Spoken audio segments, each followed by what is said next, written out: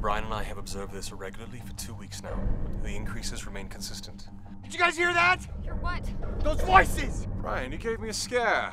Is it gonna be safe for us here? This is fantastic. Do you know what we've happened upon here? Where are the others? There's no reason to be afraid! hey, where are you, honey? As long as they're here, we'll be like this. Wherever you are, I know you can hear me. We may have stumbled upon a gate to a parallel world. I want you to write down exactly what happened. How the hell did you get here? This is turning us into monsters. We're out of time!